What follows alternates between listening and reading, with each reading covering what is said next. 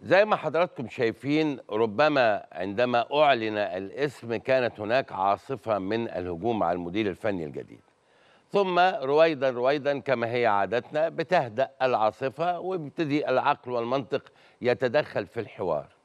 ويمكن بعض من هؤلاء النقاد طبعا محترمين جدا كان قابل هذا الاختيار بعاصفة من النقد الشديد ثم تعدل الحوار مرة أخرى. وده أمر طبيعي جدا. آه خليني أقول إنه كسي في ما فيش شك إن هو ما هوش سي في قوي عشان نكون صرحاء لم يعمل في المنطقة العربية ولم يعمل في المنطقة الإفريقية وهذا أمر بيسهل جانب في التعامل ربما يغطي هذا الجانب بذكائه لأنه إذا كان ال- ال- المدير الفني عنده ذكاء كافي بيستوعب بسرعة جدا الطباع والعادات والتقاليد و- والامصه والحكاية والرواية بيفهمها بسرعة. لكن زي ما قال الأستاذ إيهاب الخطيب المحترم لن تستطيع اطلاقا أن تحكم على أي كوتش إلا من خلال أداء المباريات. لكن هو قال حاجة أنا مش موافق عليها. بعد ستة أو سبعة مباريات لا. ميتشو المدير الفني الجديد لنادي الزمالك من الوهلة الأولى تشعر أن هناك مدير فني له بصمة ويمكن ميتشو لما قالوا اختيار ميتشو في هذا البرنامج في مساء الأنوار أنا طلعت وقلت مدرب عشرة على عشرة ليه؟ لأن شفناه وهو بيقود منتخب أوغندا وكان منتخب أوغندا أثناء قيادة ميتشو صعب للغاية وأداؤه مبهر ومشكلة إن أنت تتقابل مع أوغندا في وجود ميتشو. وبالفعل تأكد هذا الأمر من أول طلة لميتشو تشعر أن هناك شكل جديد لنادي الزمالك. حتى مباراة الأمس تحديدا الشوط الأول اللي كان ينتهي 3 4 مستريح لولا تألق عماد السيد من جانب وسوء الحظ من جانب آخر. وكان هناك آه، يعني أقول إيه؟ غارات غارات مكثفة على مرمى الاتحاد السكندري الحقيقة.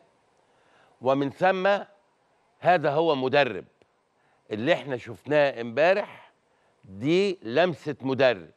أديله قد إيه بقى بيشتغل؟ مفيش 10 أيام. يبقى اذا ما أنا مش هستنى ست سبع أسابيع.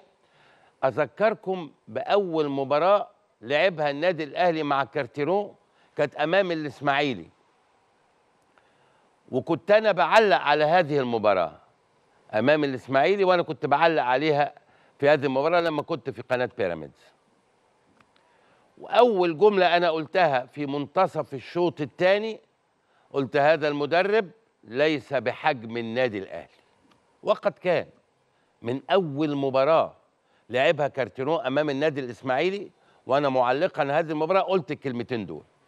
لأنه بيبان مدرب اللي عنده شخصية فنية بيبان فورا شغله على أرض الملعب. وقلت يوميها قبليها بالليل قلت غدا هو الاختبار الحقيقي لكارتيرون. كان كارتيرون في هذا التوقيت. وقد كان.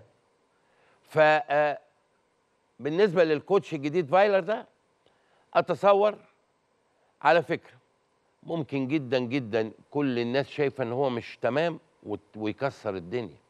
وزي ما أدى مثال لمانويل جوزيه. مان جوزيه أول سنة فشل ومشي ورجعوه.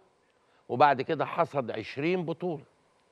فممكن جدا الراجل ده اللي عليه كل الهجوم ده يطلع هو المصباح السحري بتاع النادي الأهلي وارد جدا. لكن مش مكسب دون أداء. وهو نفسه قال كده في كلمته لو خدت بالكم من كلمة رينيه فايلر. قال أنا حريص أن أقدم نتائج مع كرة ممتعة.